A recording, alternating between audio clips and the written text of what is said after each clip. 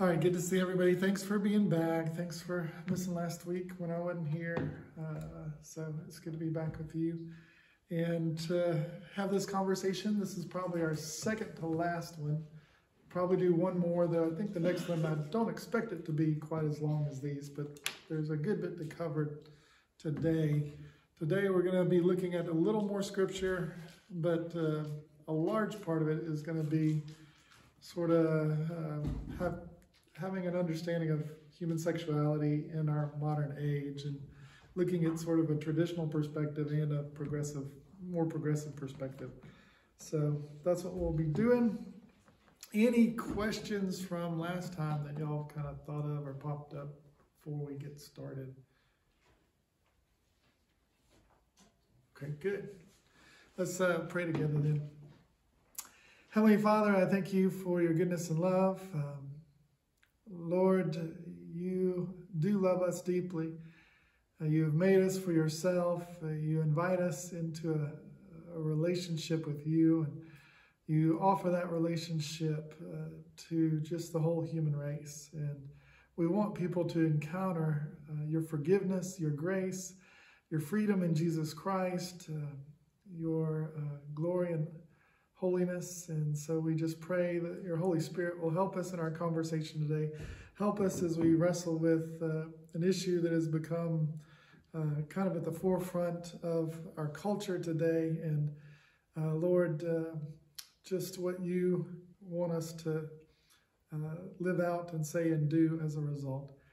And uh, Lord, we're seeking your guidance and discernment for as a church with this as well. And we pray for your help in Jesus' name. Amen. All right, the, the end of last time, uh, one of the last things I mentioned is how uh, the Holy Spirit takes us through the church epics, and in those epics, a lot of times will the, the Holy Spirit will kind of get the church to dig deeper in particular issues than in the past. Uh, and so that issue might be Jesus' identity, it might be the Trinity, it might be the scripture, it might be slavery, it might be, uh, you know, should should women have a role in, in uh, ministry and preaching, you know, uh, but, but through each age, uh, the Holy Spirit kind of takes us through these areas. And so one of the cases that uh, those that are more progressive with human sexuality will make is the case that if you look at things that we've gone through in the past, like slavery, uh, or like women in ministry, though though today we there are still differences between Southern Baptists and Pentecostals and Methodists in terms of what role women uh, can play in, you know, uh, following following the Lord's call in their lives.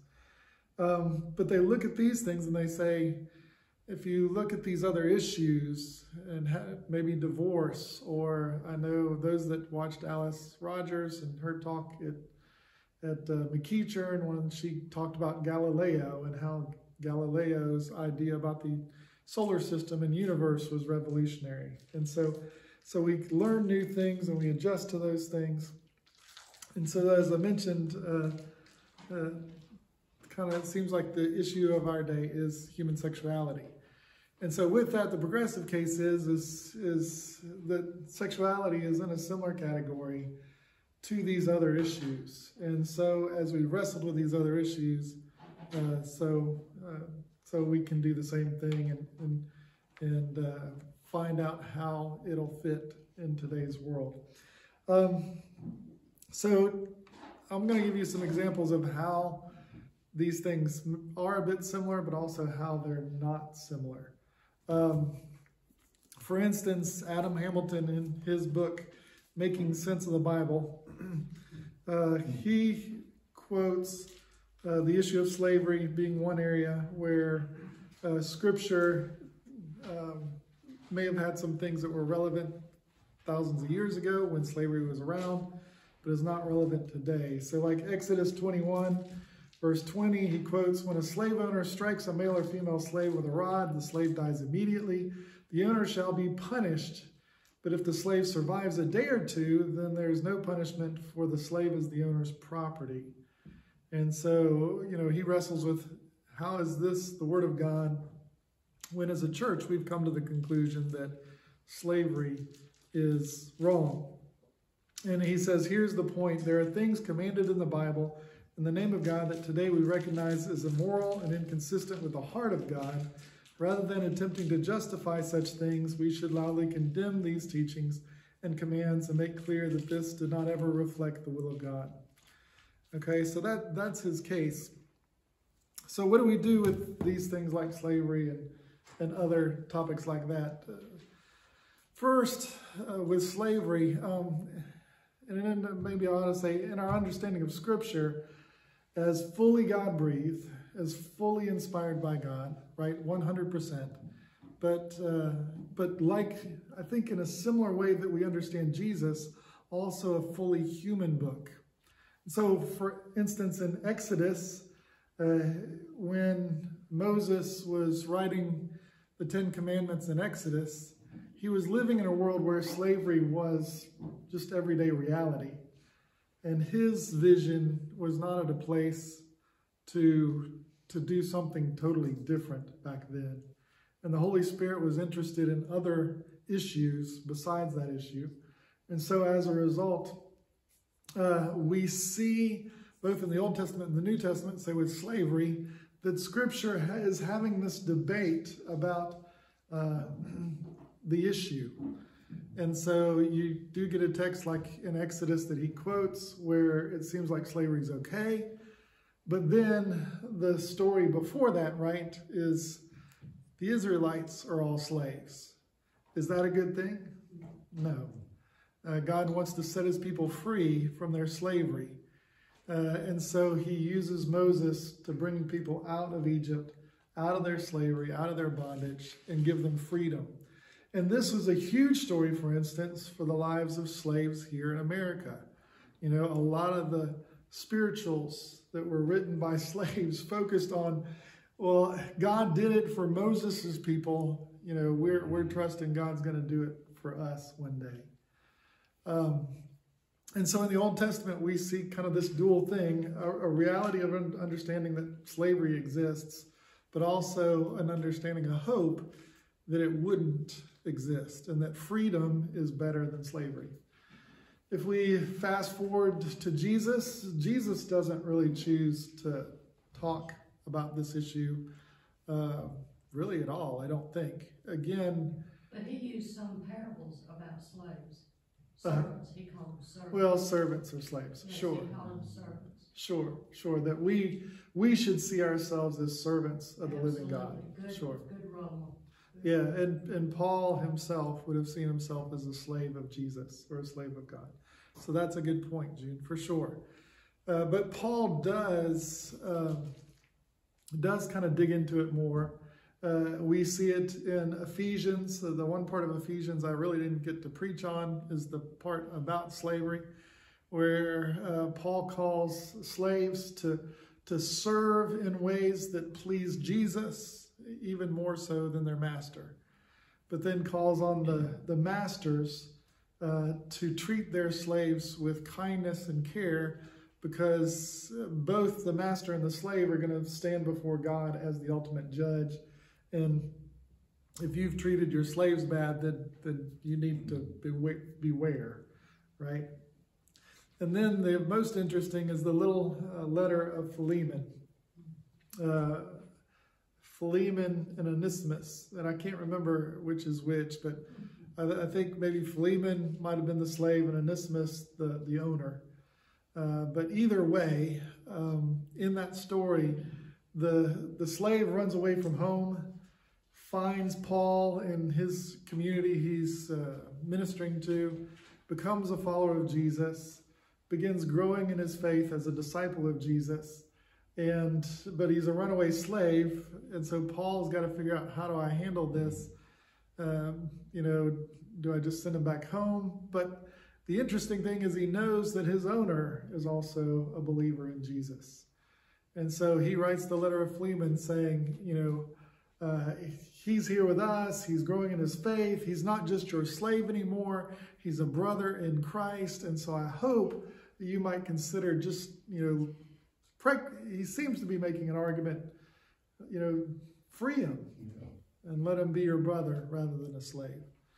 And so um, in Scripture, we do have a pretty consistent uh, ideal, I think, that, uh, that freedom is what the Lord Jesus wants, freedom is what God the Father wants, and that slavery is not what God wants.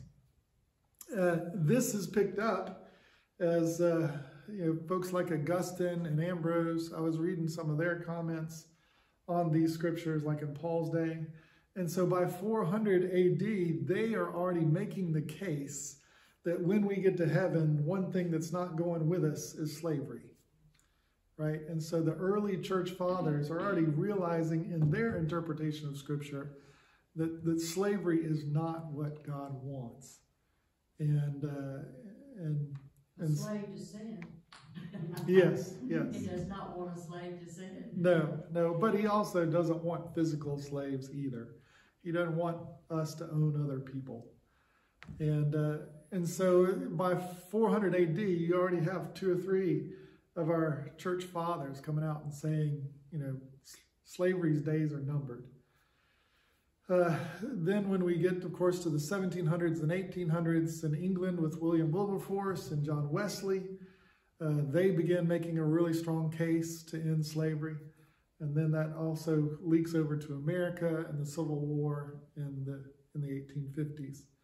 Uh, you know, and early on in that are still kind of debates. You know, the, the South would debate, well, you know, the Bible says having slaves is okay, so it's okay, you know, and the other side would say, no, it's not okay, you know, and, and we've finally kind of come to the conclusion that slavery is not okay. Um, but what we see in the scripture is there's a there's a conversation even in scripture about uh, about what God wants in that. Uh, with women in ministry, we see a similar dialogue. Okay, in the Old Testament, if you can think of women who were great leaders in the Old Testament, there's at least one you can name, but there's actually more. Who would be a great leader in the Old Testament that's a woman? Deborah. Ruth. Yeah, Deborah. Deborah.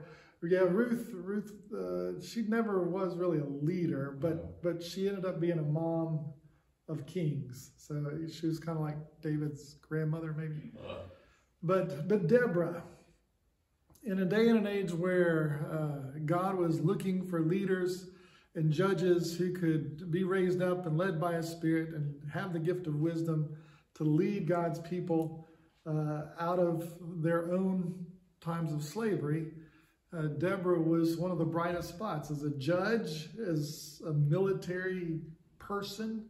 Uh, you know, in a sense, she was kind of like a, an assistant general. Uh, the other general said, I'm not going to go to war and De- unless Deborah, you go with me, right? And so Deborah is just this incredible light of, of someone called by God to lead, not to lead her whole people, to lead the whole nation. Throughout the Old Testament, there are other examples. There are other prophetesses that will pop up in Kings and some of the other places.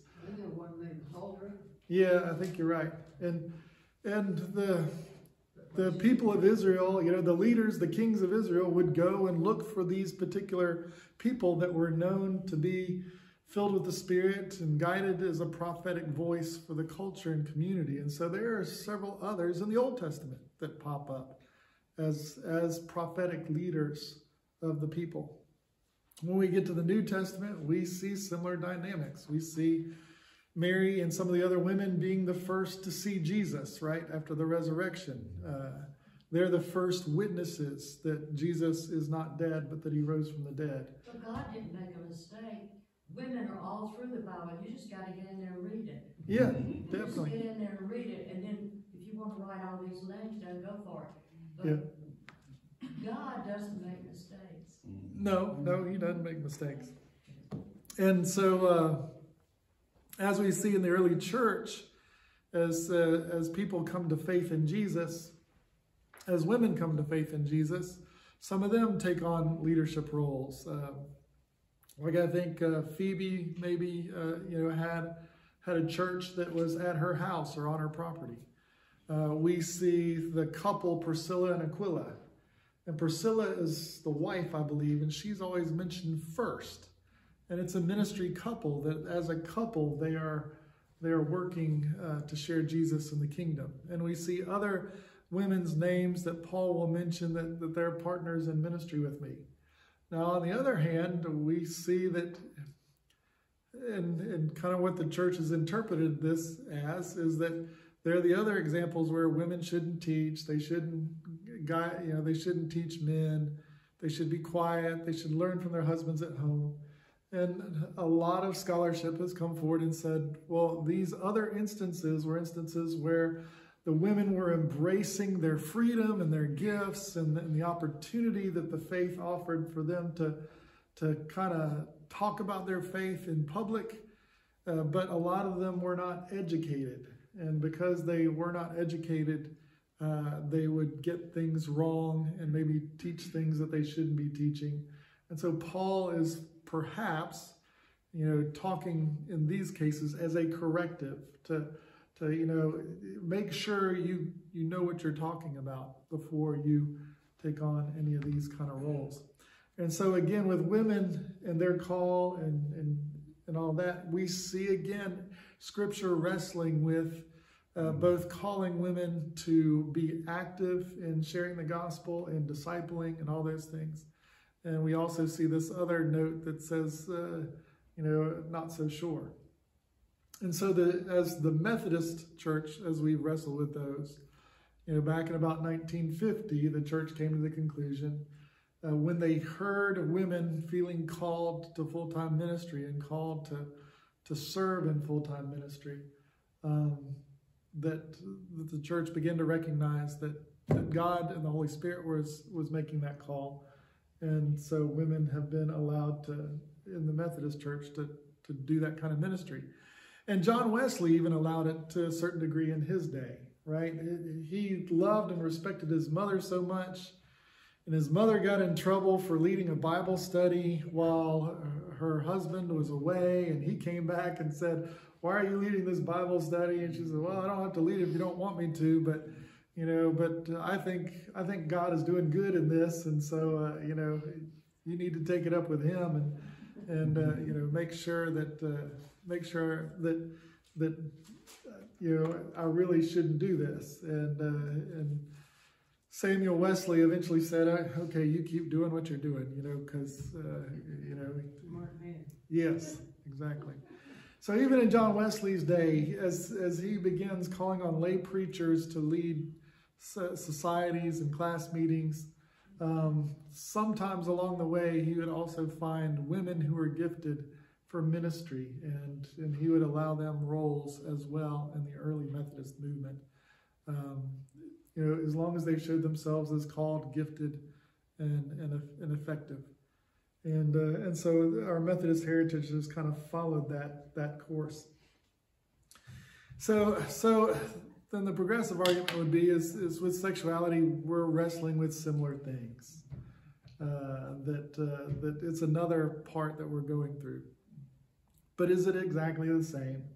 The traditionalist case would be no, it's not the same. And the, diff, the primary difference with sexuality versus these other things is uh, these other things we see scripture wrestling with, kind of saying one thing in one spot, but saying a different thing in another spot. And you've got to wrestle with, one of my professors used to say that, you know, you want to look at the Old Testament and what is God doing there. You take a look at the New Testament and look at how things have changed through the age, but also how things have stayed the same through the age. And because we're trying to get a sense of what what are the cultural differences and what are the moral standards that stay the same? Is it getting better? No. Yeah, no, probably not. Um, but but the difference with sexuality is that one, we don't have a lot. The Bible doesn't talk a ton about it, and then two, when it does talk about it, it is consistently negative, right? And we've seen how it's it's negative in the Old Testament uh, in the Jewish culture. It's negative in the New Testament when Paul is ministering in the Jewish, not just the Jewish culture, but also the, the Greek and Roman culture that would have been very permissive with their uh, sexual ethics. So, so the traditionalist argument has been this is not quite the same as slavery and not quite the same as women in ministry because the Bible, uh, both 3,000 years ago and 2,000 years ago, has been consistent with this. And, and we could also say that the Christian ethic has been consistent with this by and large up until the last, you know, uh, 60, 70 years. And, uh, and so that's the case, you know, is it the same or is it different? And, uh, and so those are the issues that we kind of look at there. All right. So um, we'll look at a few more scriptures. Uh, and and uh, the first one that we'll look at, um, we'll look at Matthew uh, chapter 5. Hey, Chris, I've got a question. Yeah, I, I don't, I don't know when to ask I don't know when, Yeah, that's what fine. you're saying it fits in, so I'll just throw it out here. So, you're doing a good job trying to say, okay, this is what, this, this is this perspective, this is this Mm. perspective. So the people that are of the progressive persuasion, um, clearly they say that we should allow, um, gay marriages, we should allow gays to be bishops or, or ministers, whatever. Mm. Okay. There's a, there's a continuum here. yeah, So, is there a line anywhere? I guess what I'm getting at is. Sure.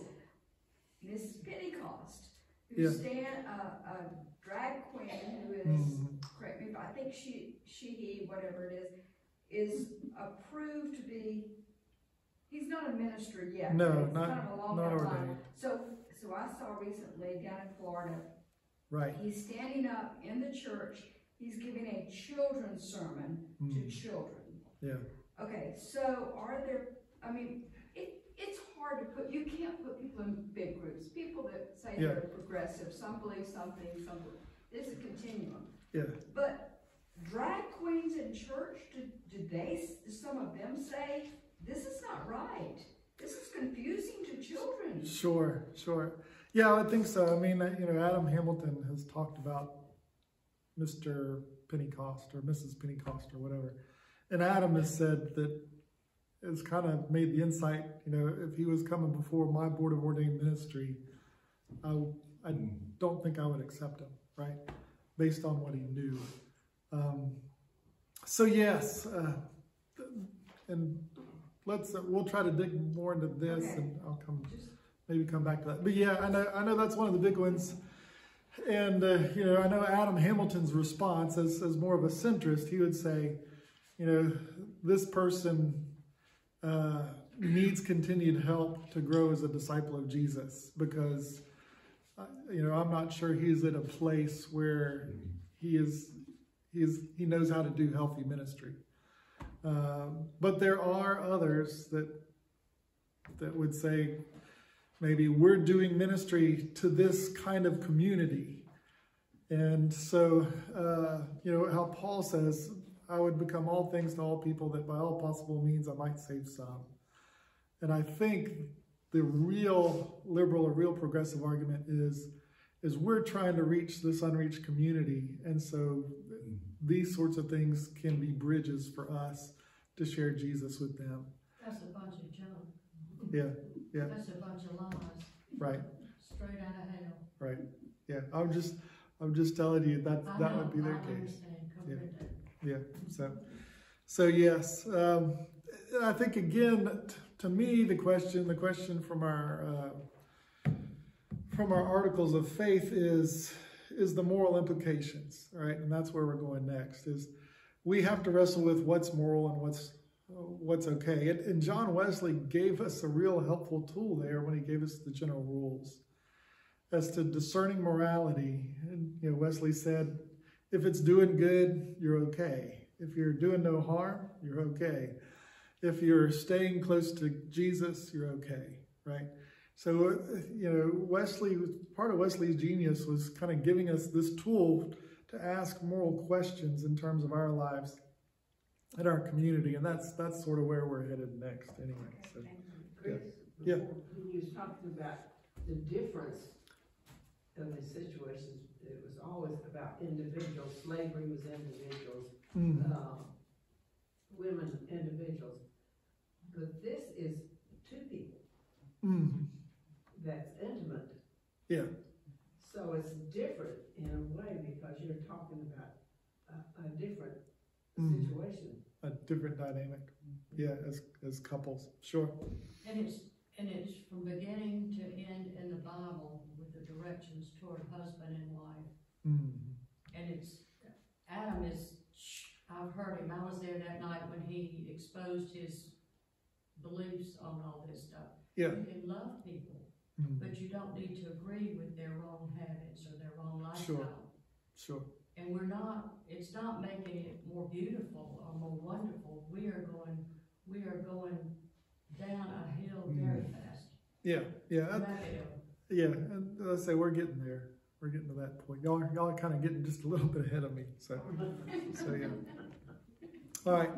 Uh, so again, uh, you know, what what might Jesus say about some of these things? And, and I always think of the Sermon on the Mount as as part of his his answer. If someone like would like to read Sermon on the Mount, uh, chapter five of Matthew, starting in the seventeenth verse um, through the twentieth verse. Anybody want to tackle that one? Through the twentieth verse, Mm-hmm. I'll do it. Don't misunderstand why I have come. I did not come to abolish the law of Moses or the writings of the prophets. No, I came to accomplish their purpose. I tell you the truth, until heaven and earth disappear, not even the smallest detail of God's law will dis- disappear until its purpose is achieved.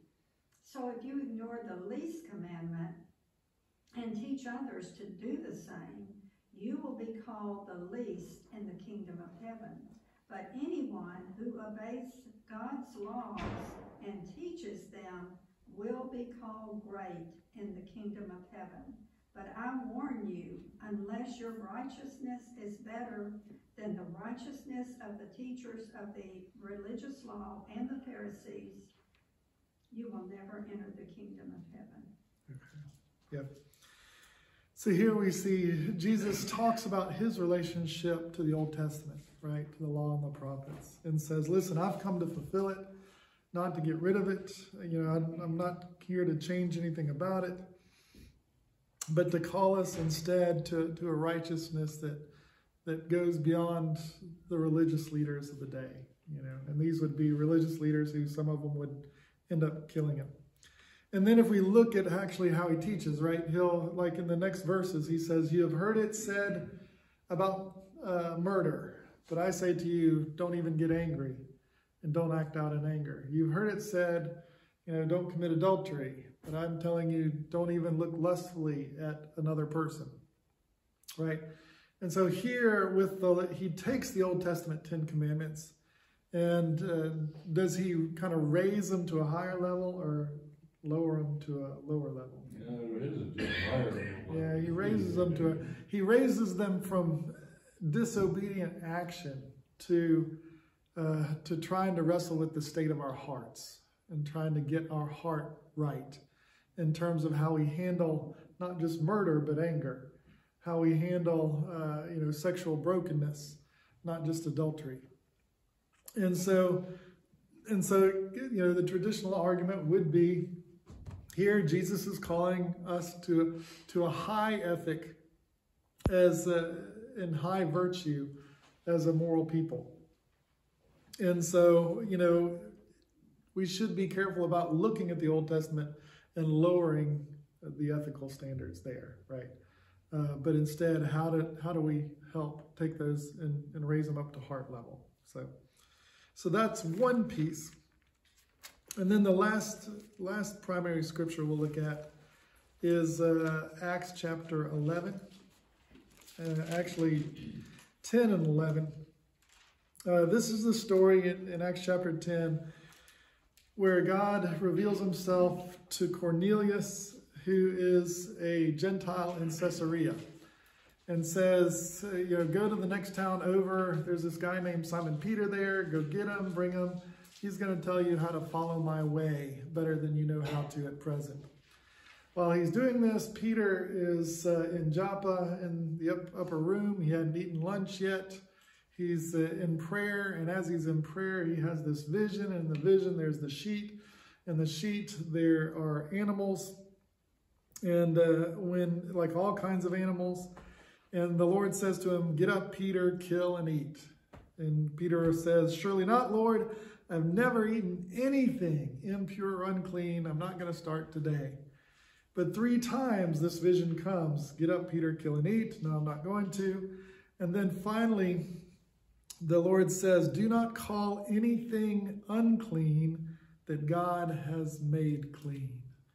Do not call anything impure or unclean that God has made clean. Right after this, Cornelius's buddies get to the house, and uh, Peter meets them there, and they say, You know, our master, who's a centurion in the Roman military. So not only is this guy a Gentile, but he's a military person. Uh, and though Peter has had some interaction with uh, centurions uh, in Jesus' time, uh, he goes to Cornelius' house, begins preaching the good news of Jesus, and before he can even get done with his message, what happens? The Holy Spirit comes. It, comes in such an obvious way that the people are praising God, they're speaking in tongues. It's evident that God has anointed Cornelius' family with the Holy Spirit. And that shocks Peter. It shocks the other people who are with him.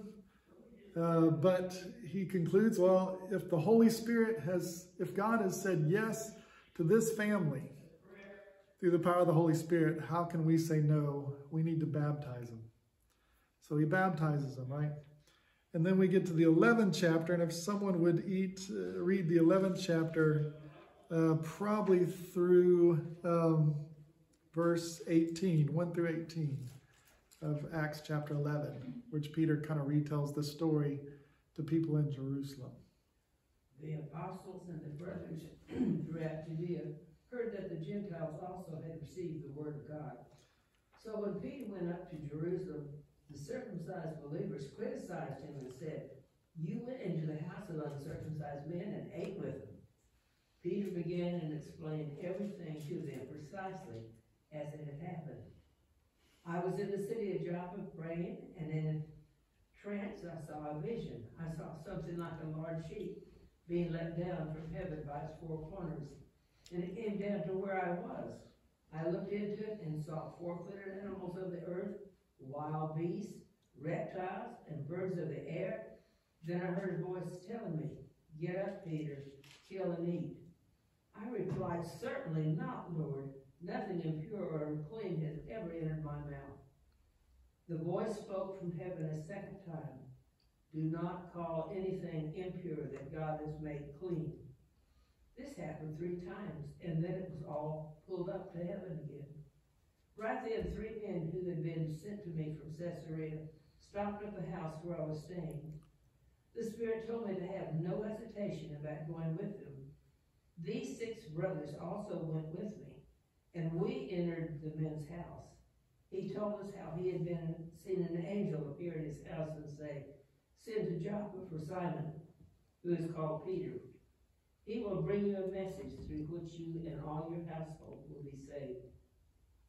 One. Yep, three more verses. As I began to speak, the Holy Spirit came on them as he had come on us at the beginning. Then I remembered what the Lord had said. John baptized with water, but you will be baptized with the Holy Spirit. So if God gave them the same gift as he gave us, who believed in the Lord Jesus Christ, who was I to think that I could oppose God? When they heard this, they had no further objections and praised God, saying, So then, God has granted even the Gentiles repentance unto life. Okay. All right, so this is one of the huge moments of the early church that kind of takes the church in a whole different direction. And, uh, and so it's a moment where, uh, I mean, as far as the Jewish folks were concerned, they didn't think there was any hope for the Gentiles. I mean, that was reality. We're God's people. God loves us. He's given his kingdom to us. He gave Jesus to us. It's all about us. Right? And uh, and so it's a huge surprise that uh, Cornelius calls for Peter to come to his house. And so Peter, going against Jewish ritual law, goes into Peter's house all because he had this vision. You know, he may have not been in a Gentile house in his whole life, but he goes through those doors because the Lord Jesus said, I've called you to go through those doors. He preaches, and in the middle of his message, as I said, uh, these this family is baptized with the Holy Spirit, and because of the evidence of the Holy Spirit in their heart and life, uh, the the rest of the believers in Jerusalem and everywhere else, the Jewish people are must come to the conclusion that these people are my brothers and sisters. And so, what I have called impure, I can no longer call impure because God has said they are clean. Um, in the recent years, this has been kind of one of the most powerful passages as I wrestle with the topic of sexuality. Um, it goes back to being at Asbury Seminary, a traditional seminary. But even there, I would have uh, professors who were in relationships with those who were wrestling with their sexual identity. One professor knew a fella and uh, and and had been a, a, friendship with him and got to know him, and uh, just uh, reminded us as pastors be compassionate with these folks. You know, um, there was a second guy whose name is Bob Tuttle. Bob uh, grew up in more the Pentecostal Methodist environment. Uh, he uh, was he, he was on staff at Oral Roberts University. He's kind of Asbury's, uh, one of their main evangelism professors, though I'm sure he's retired now. But but we're talking uh, Oral, he was buddies with Oral Roberts. Uh, he's an evangelist, sharing Jesus, uh, you know, Wesleyan heritage, came to Asbury to teach evangelism. And he was sharing with us, you know, in 1998 or 1999, a story. He said, I thought that I was nearing Christian perfection. You know, I thought that my love for God, my love for others was, was where God wanted it to be until one day I got invited to go over to a house of two men. And I went into the house and began getting to know these two men. And it was evident that their faith in Jesus was real, that they were filled with the Holy Spirit, and that God was at work in their hearts and lives in traditional Christian discipleship ways. And I had to wrestle with my understanding of things in meeting these guys who, who showed me something different than I ever thought to see. And so now, as someone who is growing in perfect love, I've got to figure out how to integrate this new mm. experience I've had with people who are filled with the Holy Spirit, but who are also practically married. So he, that was, again, 1999. I'm hearing these stories. And, uh, and so as I've gone along and as you serve in churches, you know, you, you have people in your church that uh, identify in either whether it's known or not known more in that LGBTQ kind of lifestyle or that that uh, orientation. And um, it one of the recent churches that I was a part of, I would say one of the top 20 disciples of Jesus in our church is a lady who's in her 80s, uh, who for a season um, had a partner uh, her partner died and actually did her funeral. And, uh, and she loves Jesus. She loves scripture. As I said, she is probably one of the top 20 leaders in that church.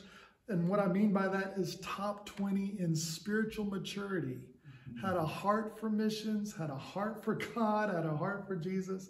You know, we'd have conversations. You say, Chris, you know, I was married to a man at one point And all I can tell you is it just didn't work.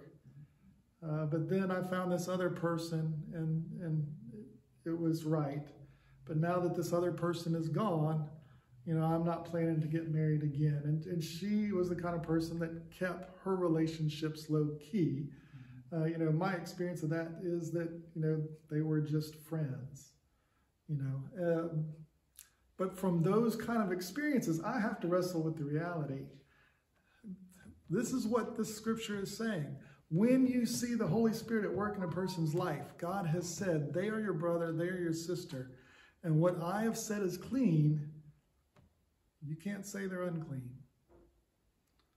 Um, I don't think it's a matter of judging yeah, another's situation. sure. I think it's coming to the Word of God. Mhm. There is nothing from beginning to end that doesn't Mm. include homosexuality as a wrong thing. Mhm.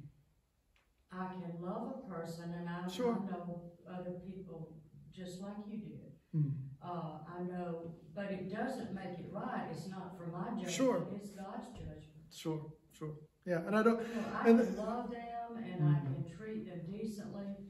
I can do all this, but it doesn't change what God says about it. The Sure. parts don't fit. You sure, know, no, that's just basic. Without a Bible, the parts don't fit. right. Okay, if you don't know anything, Yes.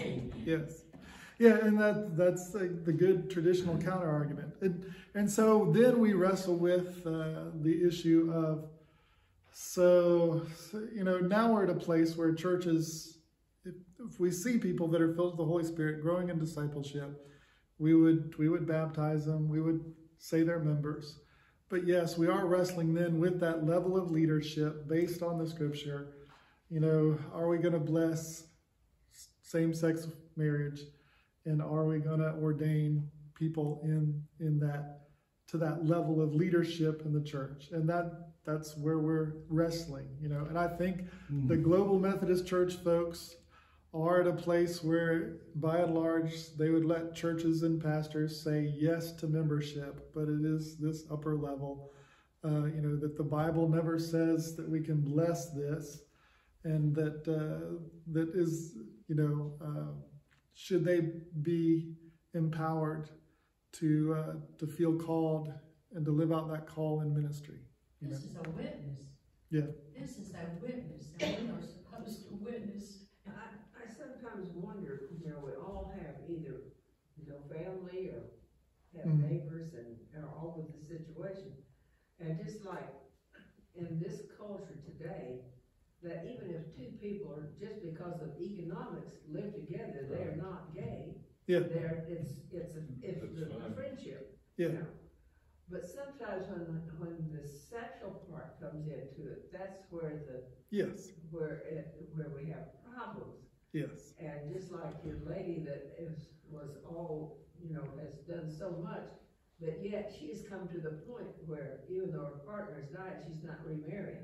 Yeah. You know, that this is not gonna be my lifestyle forever. Right. And sometimes I think we have to be patient that these people are coming to Christ and becoming more and more mature. And I think so many times when you read some others, um, witness to Yeah. that's been through, they break it off.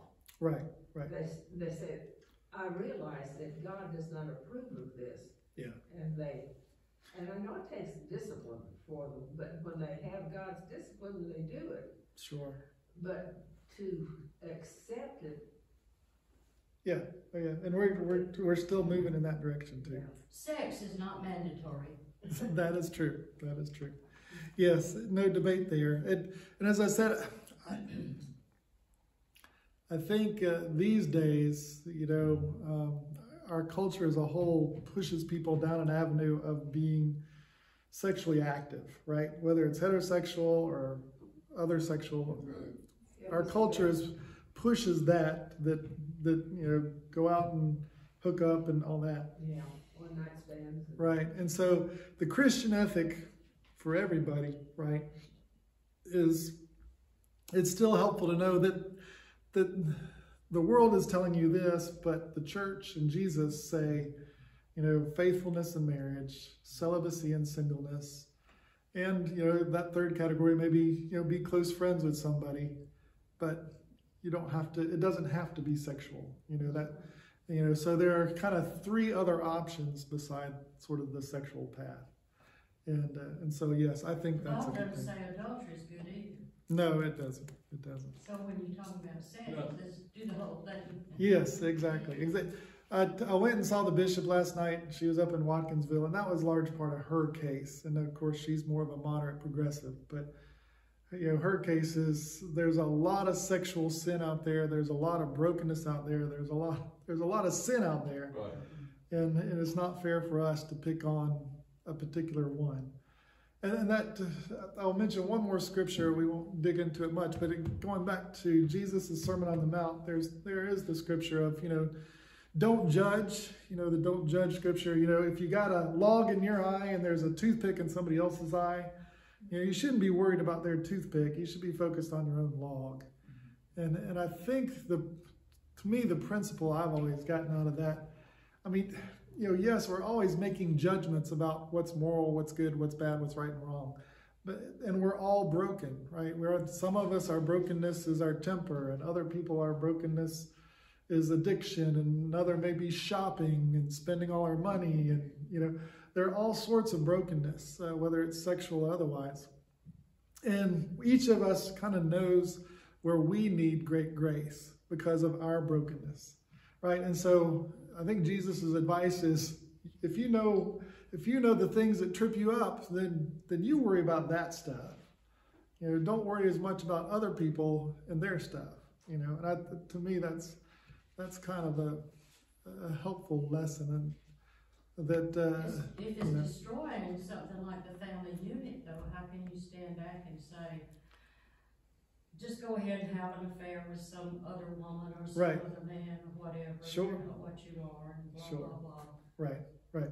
Well, and again, in that case, I, you know, I said the bishop said last night, if we're looking at the destruction of the family unit, you know, a large part of that struggle is with heterosexual sexual sin, you know, not necessarily, not necessarily same-sex sexual sin. And I So, also would imagine that the church, that if Tom and Joe wanna have an anniversary or a, a, a special, a special time, either they want to rent out the sanctuary or the fellowship hall mm, and have a party or have a, a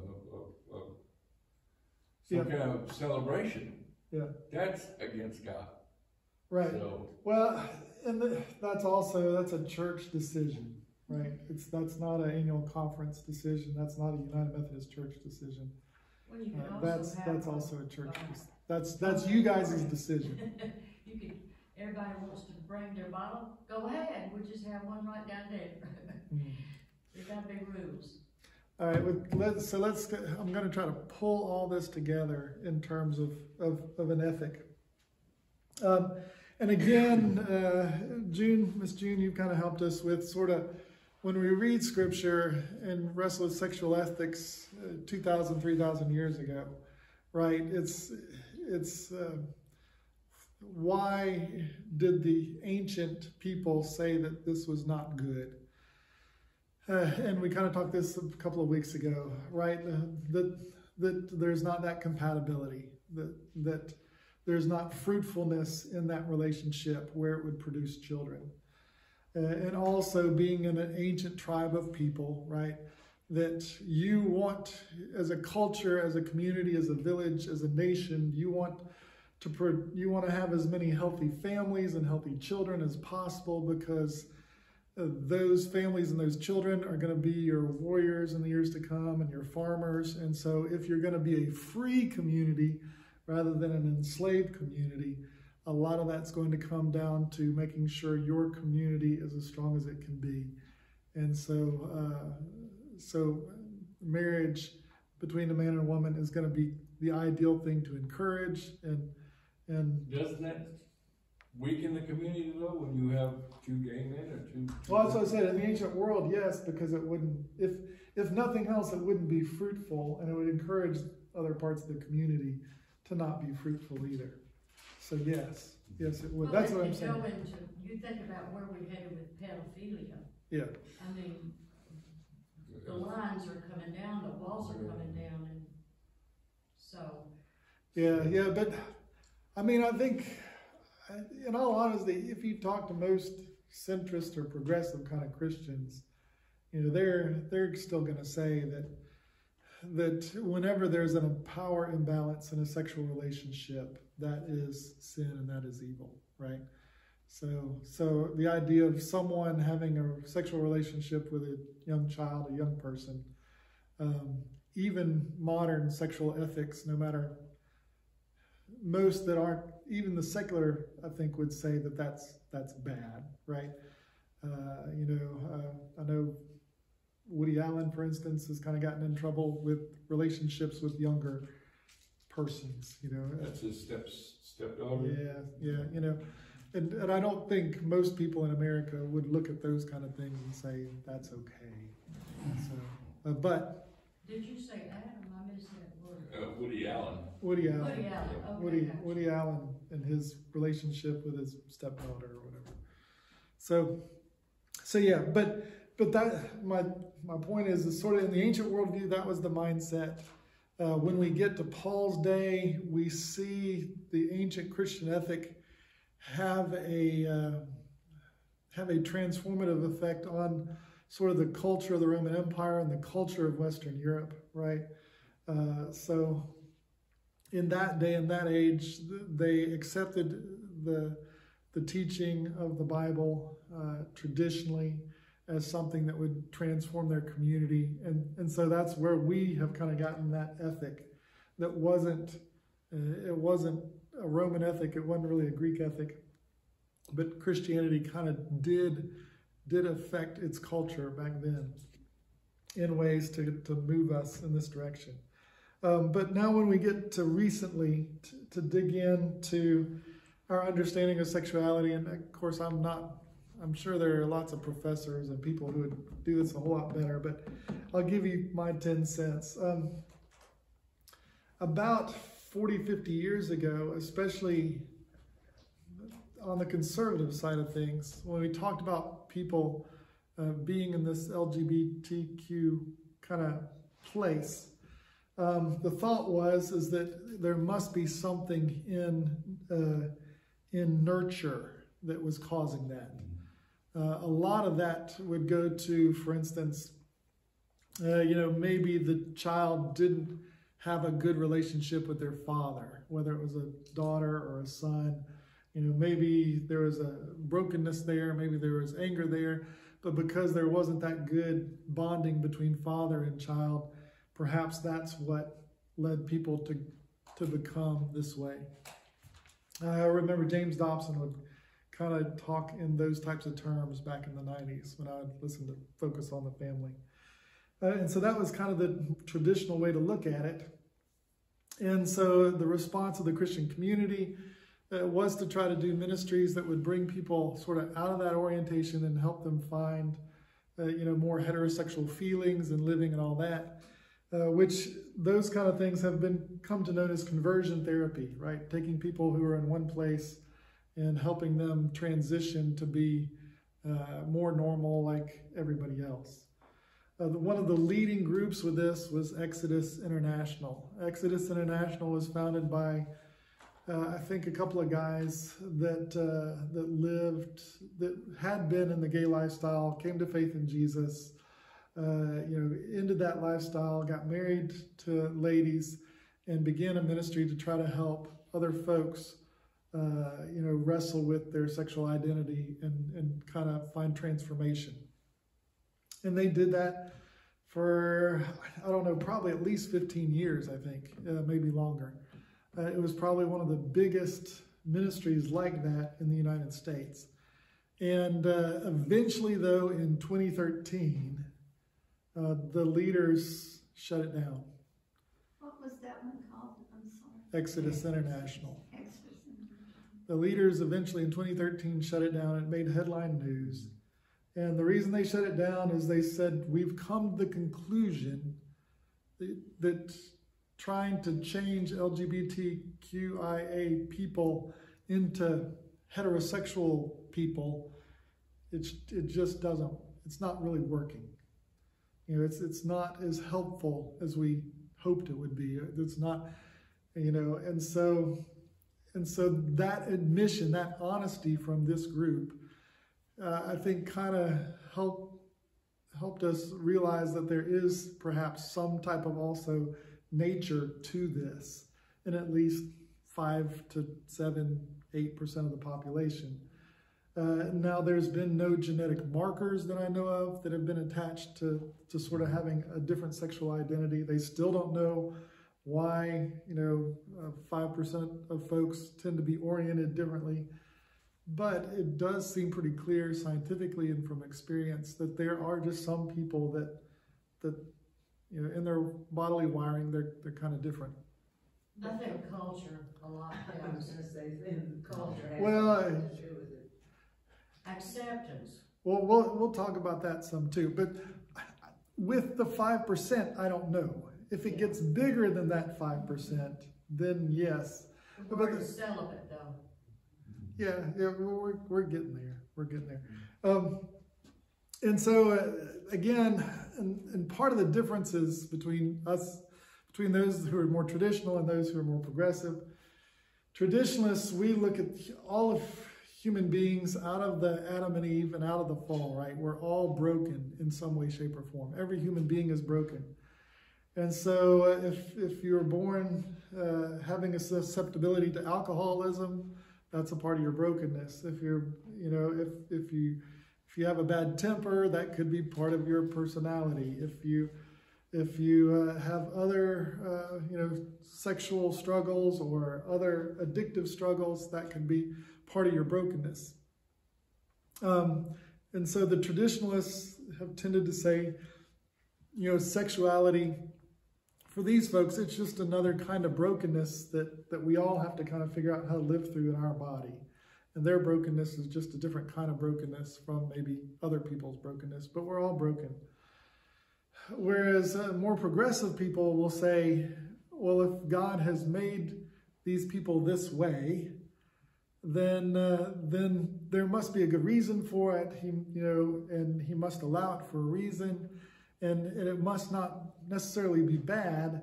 Instead, they should be able to kind of own who they are and, and see themselves as loved and blessed and all that, and, and be able to find their way uh, even in that lifestyle. And, and so those are kind of the two different pictures that that we look at things. One is the brokenness side. The other is, uh, you know, sort of they are who they are. They need to be the best of who they can be. Um, and you know, I, th- I think I've got to acknowledge that a lot of a lot of folks kind of that, that come out of this place are often very creative. They're often very gifted musically or gifted arts wise, or you know, they, they've done some pretty pretty incredible. And some of some folks in, the, in that area have even been pretty gifted leaders. As I said, there may be some evidence that some of the Caesars or Alexander the Great, you know, was had Given a lot. Yes. Given a lot. so so there is some some good that comes out of all of us in our brokenness, and uh, and so I think we have to acknowledge that too. So um, so we have to then ask the question, right? Uh, looking at the landscape today, uh, based also on the landscape of the past, in what ways? Um, in what way, if, if the Bible does say, and since the Bible does say this behavior is not God's best, that it's sinful, then in modern culture, uh, where do we see where it's harmful? Where do we see that it's not good? Uh, where do we see that it, it separates from God? And, and so um, those are the kind of things that I, that I think y'all have kind of already talked about to a certain degree. Um, but the moral pieces there that, that I see uh, are a couple. Uh, one, one that I see,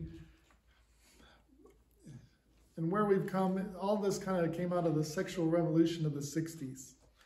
Right, so if you, if you were in, if you were part of that '60s group, then it, it fall, a bit it falls on that group, I guess, who kind of brought this wave of, of new thinking about sexuality. But um, in looking at some of this, I think a couple of things. Um, let me try to.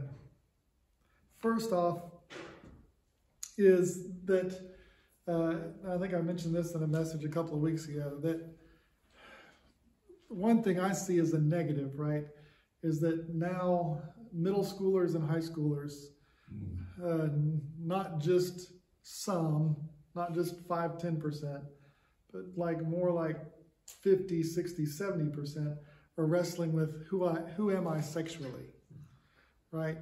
Uh, when most of us went through school, we just assumed, yeah, we're going to like somebody the opposite sex. We want to date somebody the opposite sex. That was the assumption of the culture, right? And now by middle school, our sixth and seventh graders are having to wrestle with, uh, you know, do I fit that or am I something else?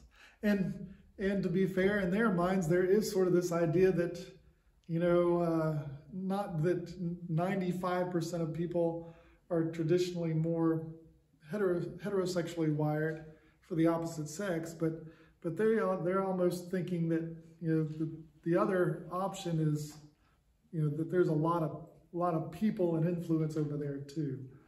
So so that's one negative I think is uh, is that our kids are wrestling with these sexuality issues at a younger age and in varied ways. Well, think, isn't it Piaget that said that it's like cutting the apron strings Mm, at a certain point in this leaving home thing? This is part of that process too.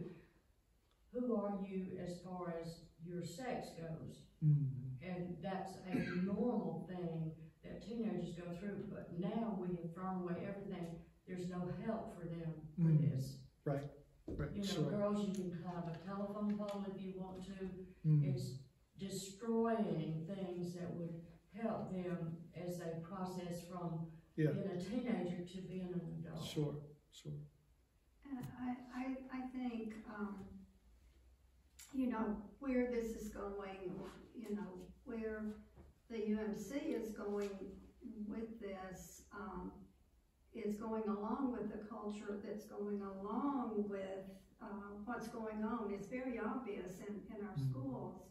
And, and I see kids who, uh, wrestle with this, who think, um, I can be different. I want to be different. I want Sure. to stand out, and I may not be the best student or the best this or the best athlete, but I can make a difference uh, and be noticed Mm, if I'm this, Yeah. this sexuality, this. Maybe I'm really uh, born with girl parts, but Yeah. I really want to be a guy. You know, I hate to say it though, Sure. you have the same folks who want that fifteen minutes of fame and they go into the school with a automatic machine gun and say, ba da ba da ba da. So, you know, Yeah, that's, it's, it's that, I want to make a difference, but I want to be, re- I want to be recognized, I want to be received as, uh, somebody that, uh, they'll, when they hear my name, they'll know who I am.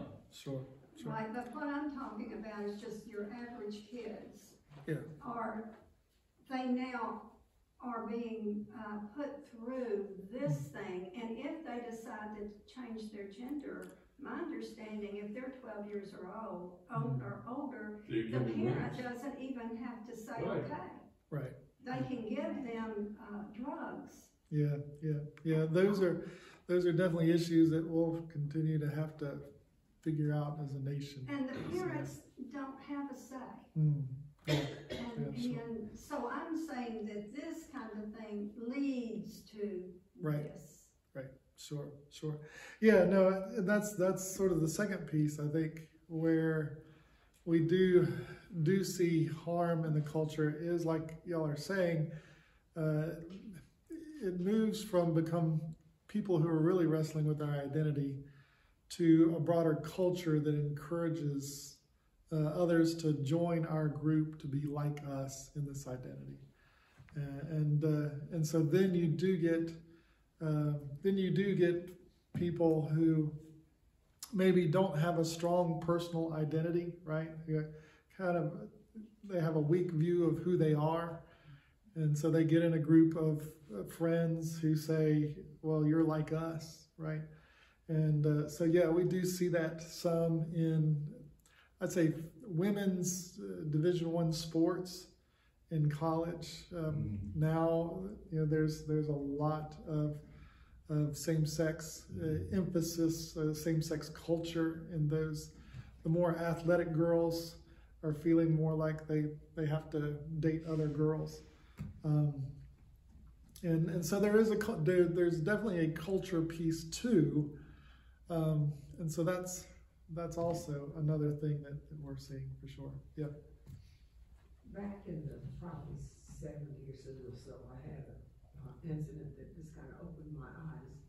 I worked in a doctor's office in Sprungston, and this is in Midtown, and Midtown become very hippie. Mm. And when I'd go to lunch, I'd see these young boys out of school standing on the corners as I walked to lunch. And I couldn't figure out why they were always nice looking young kids out Yeah. on the street during the, Yeah. during the day. And one of my coworkers says, oh, they're on drugs Mm. and they're selling their bodies Right. to finance the drugs. Sure. So drugs has had a lot of Sure. Yeah, it doesn't help, does it? these, and then they become trapped in the homosexual lifestyle. Mm. And I thought, how sad, and this was back in the seventies. Sure. Sure. That's true. Well, I think the age thing, and then we've tried to cure the age thing, Mm. AIDS is deadly. I had a, fr- I lost a, a young man, friend in my youth group, and, um, he got AIDS, he was Mhm. married, and all this to a female, and had, I think he had two children. Mm. And he got involved at a gay bar, Mm. he got AIDS, and he's been dead for many, many years. Sure. Had this not happened, he Mm. would be, he could be sitting here with us today. Sure, sure. Well, you know, and, and here in the U.S., we tend to think of AIDS as more of a, uh, you know, LGBT kind of disease, whereas in Africa, it's just a, it's a sexual brokenness disease, Yeah, right? that's crossing over. Yeah, yeah. So, so, so yeah. It, it, it definitely has been something that that should make us think about how how we view our bodies and how we uh, how we handle ourselves as sexual human beings for sure. Now, but I also, with talking about all these things, um, there is one piece that's probably been a good that's come out of some of this change, and that is uh, one of the largest group of young people that wrestles with suicide are those that are teenagers that have this different orientation or this different wiring or, or different feelings about who they are. Uh, you know, the, the rates of suicide in that group have always have for a long time just kind of been, you know, way uh, very very high. And and so I think the benefit is for the actual group that does wrestle with sexual identity in a genuine way, is that for them they are at a place where they can uh, they can own that better rather than seeing that maybe I just should kill myself. And so I, I think I think that piece is is a good that's coming uh, because these young folks uh, now have more of a community or more of a place where they can they can begin to try to figure out how to how to live their life uh, with who they are. Um, That's a psychological issue from beginning to end with these young people that are at this point. I have yeah. a lot of folks, I have several folks that have committed suicide in my family, Mm, but it's, uh, there's issues there, there's a lot of things there. Sure, sure. But I, I, I think traditionally having such a harsh cultural rejection, uh, you know, in our families or in our communities of these folks are bad, God doesn't love them, we're not going to love them either. I think that that heritage for teenagers, you know, I mean, I can see how it would cause a lot of them to despair. Right. Well, our church has not done a good job of saying God loves you. Yeah. God loves you, he, he wants me to change some of these things Sure. in my life. Sure, You know, what disturbs me is some of the, these young people want somebody to talk to Mm, and say, help me sort this out. Yeah. And then the government says, no, you can't have conversion therapy if somebody require, doesn't, Right. wants it. right. And so uh, it's a matter of choice that if they desire to say, I need to talk to somebody because I don't want to be in this lifestyle. I'd Yeah, rather, yeah. uh, see what else I can do. And- Yeah. And then. Yeah. As a, as a government, we have, Sure. as a people, we have failed these Right. young people. Well, and I, I think there definitely there are definitely still ministries. There are still definite roles for for helping people figure out how to be more healthy with who they are sexually and with their sexual identity. And I don't think it I don't think it has to be a lot of conversion therapy anymore. I think I think just helping people figure out from a if they're especially if they want to be followers of Jesus and they want to follow Jesus, helping them figure out uh, you know how they can do that in a way that that works for them as human beings. As I said, I think you know the Bible gives us uh, you know at least sort of you know marry someone of the opposite sex, stay single, uh, you know maybe have a friend, but just a, a friendship, you know. And but for some, they're still going to choose kind of the more uh, you know uh, the more same-sex piece. You can't even have a friend now. You can't move into an apartment with Mm. somebody without it, uh, making you look like you're Yeah.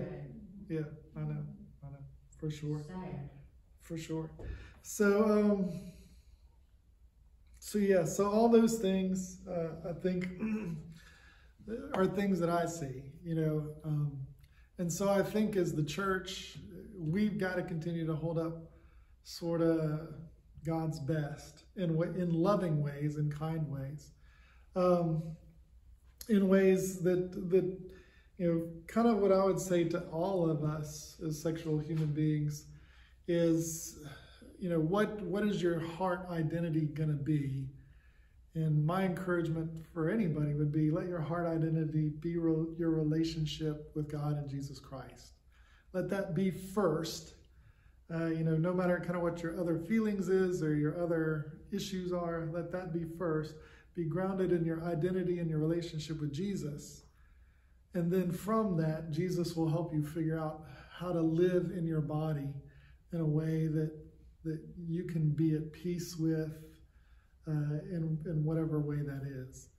And then the second thing that I, you know I would tell folks is is that you know we were made we were made for holiness. We were made to look like Jesus, to love like Jesus, to to uh, to grow to a sp- place spiritually where uh, where we have that holiness of heart and life. And so, just to challenge all of us, no matter where we are, that that's that's what we're striving for. That's that's who we want to be as human beings.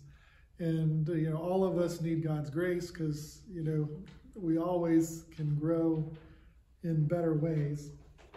But those are messages that that you can give to anybody, even folks, and especially folks who are LGBTQIA, and say, okay, you know, maybe this is your wiring, maybe it's a little different, but but with prayer, with grace, uh, you know, let's pray about how Jesus wants you to live with, with this and through this, and uh, you know, and ultimately they have to choose their path, right?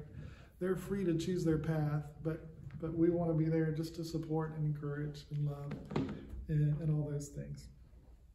So, so those those are, I think, some of the main things that uh, that we wanted to look at. So for me, as I said, it's kind of the traditional piece. Uh, the traditional critique, I think, is that you know, I think for 90% of children and youth, they're having to wrestle more with their sexuality than they did in the past. And for 90% of them, that's not a good thing. Maybe for that 5 or 7% that are have some different kind of orientation, for them it may there may be some benefit to, to living as that kind of person today than if they'd lived you know, a long time ago. Um, I don't know if any of y'all there was this movie, The Imitation Game. Anybody seen that with uh, oh the guy that played Sherlock? I can't think of his name right now. Um, Robert Downey Jr. No. no, not Robert Downey Jr. Yeah, Cumberbatch. Oh, Cumber, Cumberbatch. Yeah, um, the Imitation Game. uh, This guy basically saved the world in World War II by cracking the German code. But he was he was same sex in identity, and the government was trying to treat him, and uh, he ended up either dying or committing suicide, or you know after the war, um, because it, in that stage in history, you know after all he'd done to save the world, uh, the government really didn't treat him very well. They treated him as someone we need to we need to test and try to figure out how to fix him. And, uh, and instead, he ended up dying at a young age. Um, you know, so so in some sense, for some, for this group of folks living in today's age, it's there are going to be opportunities for it to be, in some sense, better for them to figure things out. But for us as a church, we want to be a witness of uh, of the idea that that there is a cultural piece. There, uh, like some of you are saying, there is a rebellion piece. Some of our kids grow up and you know maybe mom and dad have been too strict, and so just to do something different, and you know I'm going to do this. I'm going to be this. Uh, either so that people will like me, or that I can be my own person, or or that I can just be different from my parents because I think my parents have gone crazy. You know, whatever it is you know, and that's always been around, and there's always been ways to rebel, and so this is kind of just a new way to rebel in some sense. Um, you know, all those pieces, I think, I, I, think are concerning. I think, I think the secular ethic in the world that uh, is embracing more like polyamory and you know this idea, almost a you know a polygamous kind of lifestyle again. I, I think there's a lot of stuff out there that. Uh, uh, that our culture is going to have to kind of relearn. And I think, to be honest, I think this we're in an age this is going to swing, and right now it's swinging progressive. I think when that goes too far, I think our culture will begin to learn some lessons. They'll begin to wake up some, and it'll come back uh, back the other way. Um, just right now, we all feel like we all feel how far things are swinging, and it may take another 40 years for kind of the culture to wake up and say, you know what, some of the things that our forefathers in scripture and other places talked about, they, they actually had a reason for saying why some of these sexual boundaries were, were important. So. Does, does Christ give us, or does, does God give us latitude for that though? I mean, I, I don't understand. I don't Right. understand. You mean as a culture, as a nation? Not as a culture, as a nation, as the individual. Yeah. When I was growing up, I had two buddies that I loved deeply, Yeah. good friends. Yeah. One decided to hang himself in the basement, Yeah. and the other one took off to California and started riding a motorcycle. Yeah. And he was our pianist for a while. Right. Right. And these were good guys. I mean, they, they, they, they had their heads on straight, but they were bullied. Both of them were bullied. Sure. time. Now, one found that uh, there was ladies out there, Yeah. And we were all about the same age. Yeah. And that's when I found out there was ladies out there too. Sure. And we went crazy for a while. Yeah. You know, but uh, I mean, uh, I'd say, as I said, God's heart is that we would know Him and love Him and be saved by Him, and God's heart is that we would we would be holy in heart and life, so that we're ready for heaven. You know, so that hopefully by the end of our life, we're we're in some way, shape, or form ready for heaven. did, did Christ say that? Did, did Christ say, as long as you keep my commandments and do and love, you'll be, li- you'll be living in paradise with me? Well, I mean, yes, he he said God's grace is is tremendous. You know, if God's grace works for a thief on a cross, it it'll work for anybody. You know, um, you know, and the thief on the cross didn't have a whole lot of time to be sanctified, uh, but but he he was honest enough that he he was saved and sanctified as enough as he needed to be at that minute. Um, There's one heaven, but there's a lot of hell down here. Oh, yeah, yeah, I have a question. sure. Do, do you think, uh, that our bishop realizes the harm she has done? In what ways? To In- In promoting, uh, Mhm. this, uh, making this, um, a part of, uh, Mm. causing Hmm. a split. Right. Um, well, I, I wouldn't blame our bishop for that. I, I think, I think there's a large part of the American church that that is kind of on a similar page to the bishop. Right, but, but she, uh, didn't have to go along with it. Yeah. No, she did. Uh, she made her own decision Sure. to, to be, and she had great, uh, influence. Right.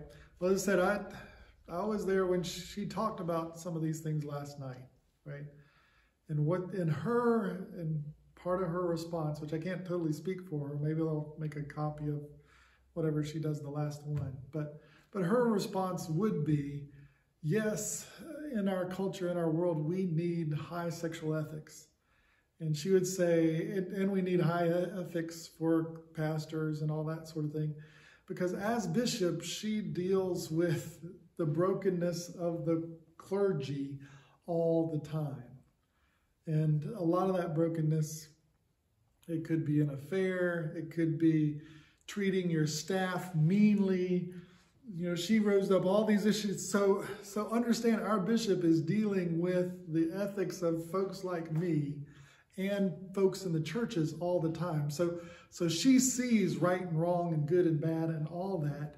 And so her case, I think, is um, that it's, she said last night, you know, being more progressive, it's more about the power differential that's bad. It's more about uh, the uh, the sexual looseness and sleeping around that's bad. It's more the adultery that's bad. It's more the pornography that's bad. There's there's a lot of bad stuff out there, um, and and so her her point would be that that two people who love each other and want to spend their lives together uh, is not her emphasis because that's more of a less bad than a lot of the other stuff that she has to deal with as bishop and less bad than a lot of stuff in our culture that we have to wrestle with. That would that that would be what she would say is something along those lines. Um, okay, it, it's just, um, because I, I guess, uh, since my brother is, uh, is a Mm. homosexual, and I love my brother, and he has been accepted by my family ever since he came into my family as a Yeah. seven-year-old when my mom married his dad. yeah Uh, but I, I see in, in his group, it's not Mm. this individual loving this individual, and they happen to be the same gender. Yeah. It's anything goes. Yeah. Well, and that's that's where there's a difference, I think. I think I think what the United Methodist Church is after is let's let's live still by the biblical sexual ethics. But if you're the same gender and you find a partner for life, uh, that's definitely better than anything goes, right? So that's why I say I'd say the bishop and most all of us as clergy in the United Methodist Church would still say anything goes sexually is a bad deal. It's sin, right? Absolutely. Yeah. So, You can't draw, you can't say, no more, you can't do this, you can't. The, the, in us, the Holy Spirit lives. mm, And whatever I do that's not right, then I am convicted. And Right. God doesn't let me get by. Yeah. Nor does he let anybody else get by. We can lie to ourselves, sure, but we do not get by. Sure, The guilt is still there. The culture can say this is great, Yeah. go kiss your neighbor's wife. But God says this is wrong. yeah, Yeah, sure. So we have to go It- what the Holy Spirit says. Right. It, well, and we have to trust the Holy Spirit to do its work in everybody's heart and life. You know, because because we can we can give a little nudge, but but we also have to trust the Holy Spirit. It, uh, to give you kind of the progressive side, this is this is uh, uh, what Adam. We'll wrap things up sort of with Adam Hamilton's perspective on some of this, uh, because Adam saw himself as a more traditional theo- theology early in his ministry, but over the years has, has softened uh, to what we'd call a more moderate position. So this is what he shares. For years, I felt compassion for gay, gay and lesbian people. I welcomed them into our church, but I told them that I believed it was not God's will that they share their lives with another person of the same gender because the Bible taught that same sex intimacy was wrong. Now, I did refrain from telling them that the Bible called them an abomination and commanded their death.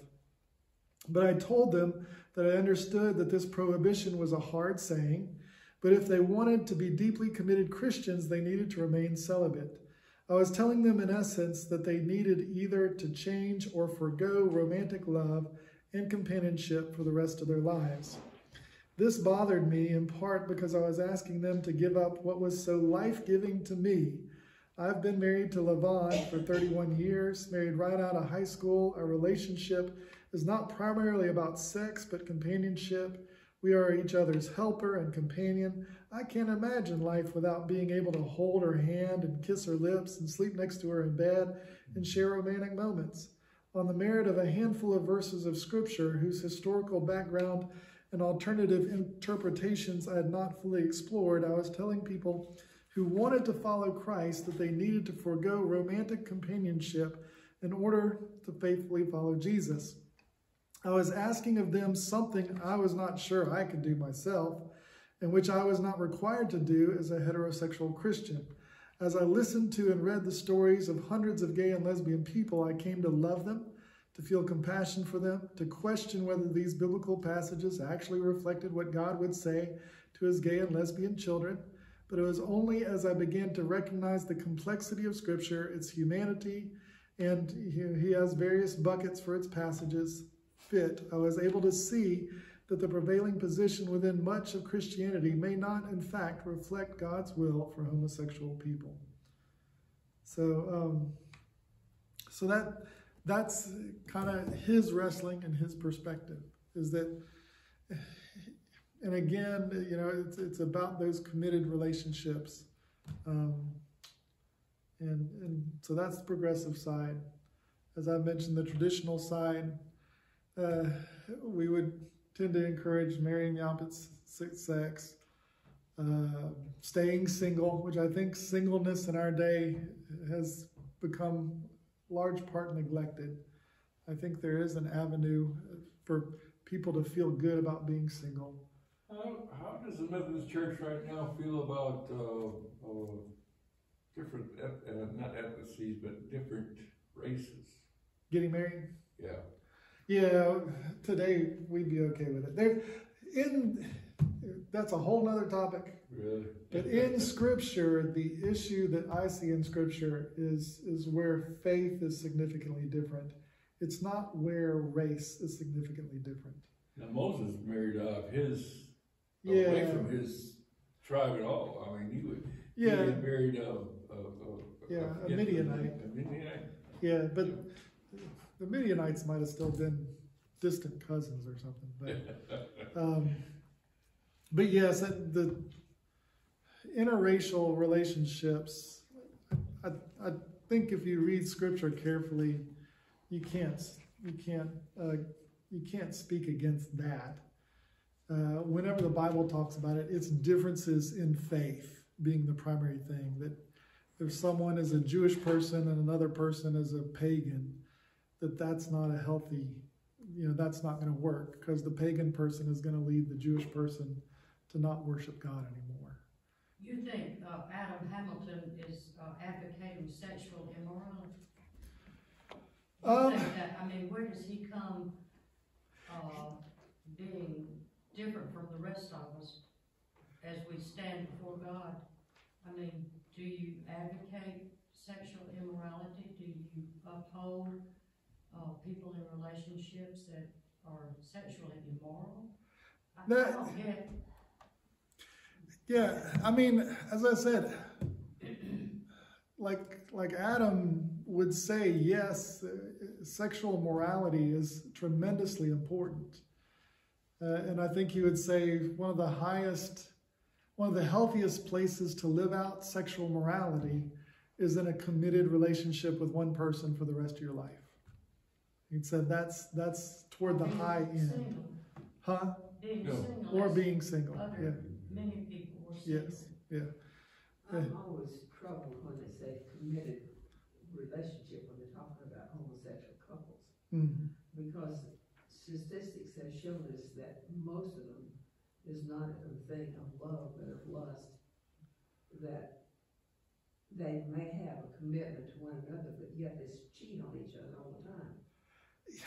And so it- yeah, And, and so, I, I appre- I understand some Yeah. of them that may be committed, yeah, yeah. but the bulk of them are not, is because selfishness. Right, but, but we could say the same thing about heterosexual Yes, that's relationships, right? So uh, to me, that's that. See, the progressive person categorizes that differently. The issue is adultery. That's the issue. That's the sexual moral issue. It's adultery. And You know, you know, a committed relationship is a committed relationship, but adultery is adultery, right? And so they they they wire their sexual ethic on a different framework that still says adultery or fornication or those things are wrong. And and the higher goods are committed relationships for life or singleness. Okay, so that that's uh, you know that that would be sort of the progressive ethic is to shift it just that little bit you know um, for sure.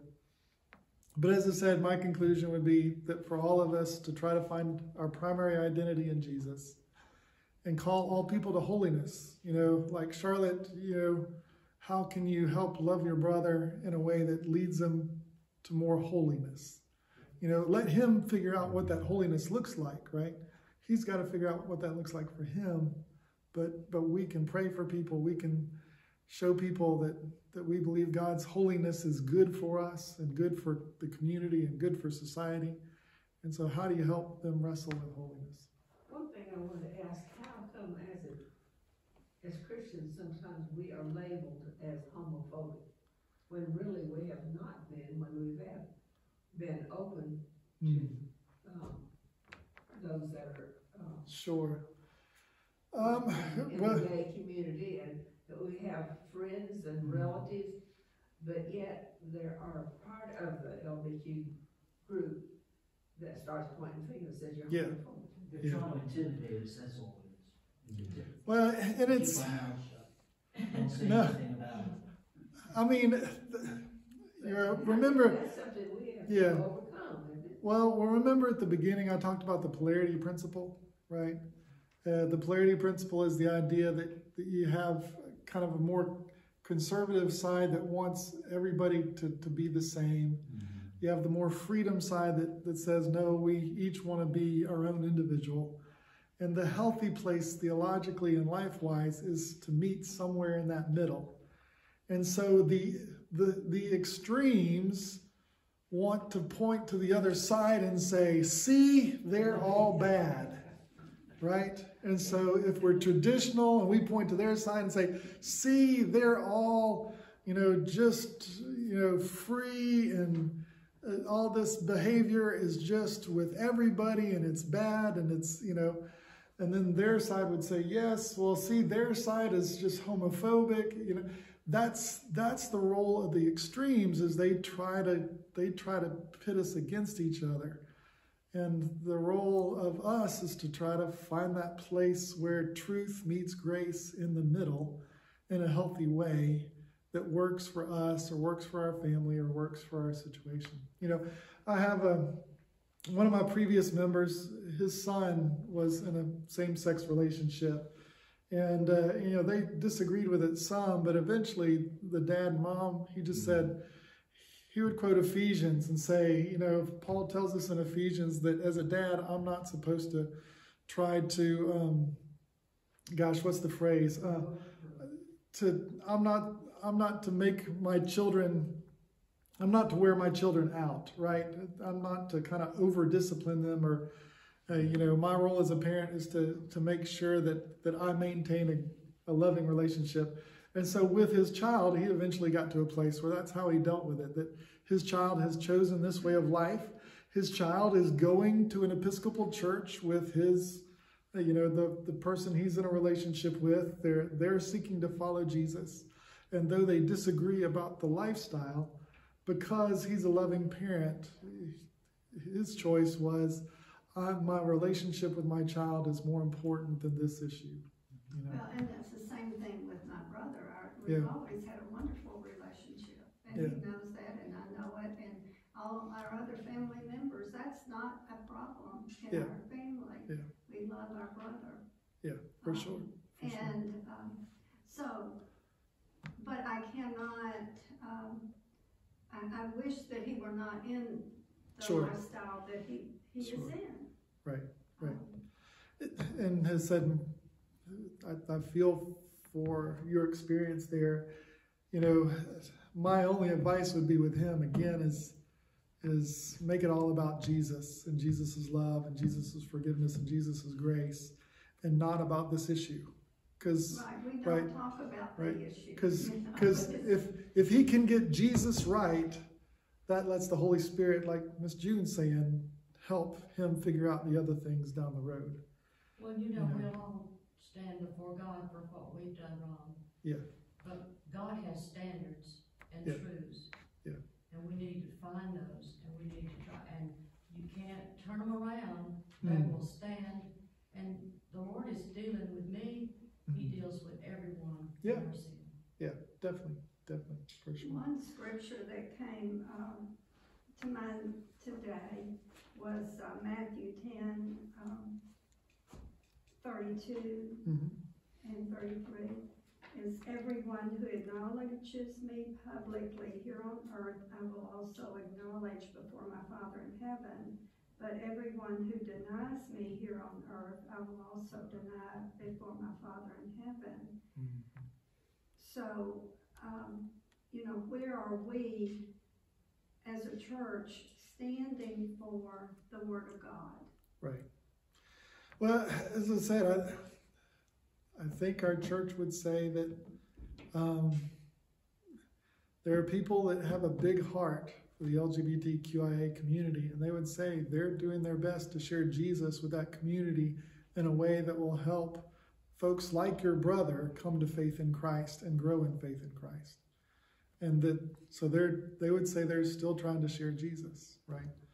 Um, it just, to reach that community, they would say, we're doing things that make many of us uncomfortable because uh, because they see those as bridges to connect with that unchurched community, where we see a lot of that stuff as being kind of outside our boundaries or outside God's boundaries, and that's where the wrestling is. Well, Um, God is in all of us, the worst mm, to the best, God sent us. yeah, sure, sure. I feel we need to be welcoming, but I don't want us to hang a pride flag, flag Yeah. out. Yeah, I, yeah. I mean, I think th- the question is is sort of that boundary of orthodoxy, right? What you know, when do we begin doing things that that, that encourage unhealthy living, and when do we begin doing things that that encourage healthy living? You know, and it's When we accept that's it. where that boundary. Yeah. And we accept it, that we make encourage. So yeah, all right. We've gone over time today, but this this was uh, a big one. So next time, our last one, I don't think it'll be anywhere near as long. But next time, we'll talk about sort of where the UMC is headed, where the Global Methodist Church is headed, and sort of how to how to figure out where you might fit in that choice. So. Will you have any handouts? Uh, I, I don't know. I'll see if I find any that work. I'll do it, but I may I may draw some things on the board. So, Uh, will you, uh, ever have, um, you know, different beliefs or standards or doctrine or whatever and have UMC and GMC uh, and how they look at that particular thing in a chart type. I mean, that's hard to do because right now our discipline is still pretty darn traditional. so, Well, look, we you know. have that, and we need to, uh, people need to make their mind up. Yeah.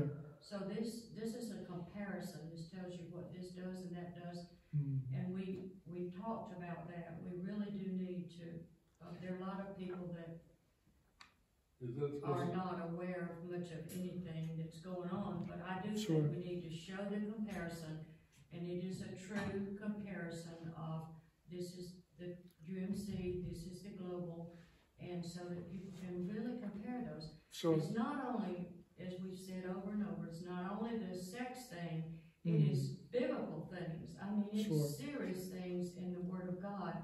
It's the relationship that they have with Jesus and what they believe about Sure. Jesus. and And the that's supposed to Word be of God. changed in twenty twenty-three? What? Is it supposed to have changes in the book in twenty twenty-three? Yeah, I mean, the next general conference would be. Next one. Yeah, Yeah, I mean, we'll get into some of that sort of stuff um, as well, for sure. Um, but yeah, that, that's enough for today, I think. So good job. Let's pray together. Father, I thank you uh, just for our time together today. Um, we thank you that your goodness and love uh, uh, seeks to knock on the door of our hearts wherever we are. And Lord, as we open the door of our hearts to you, you seek uh, to grow us in grace. You seek to pour out your forgiveness. You give us the gift of your Holy Spirit. You call us to follow you. And uh, Lord, to seek your goodness and love and truth, uh, to live rightly with each other. And that's a journey. Uh, it's a journey that every human being is on in some way, shape, or form. And our prayer is that we might continue on that journey, that we might be helpful to others who are wrestling with the journey. Uh, and that includes uh, folks who find themselves in more the LGBTQIA kind of uh, orientation. Lord, you call us to love them, you desire to save them, uh, and you call us all to holiness and help us live that out in our lives to the best of our ability, both for the blessing of our families and our community and our world. We pray in Jesus' name. Amen.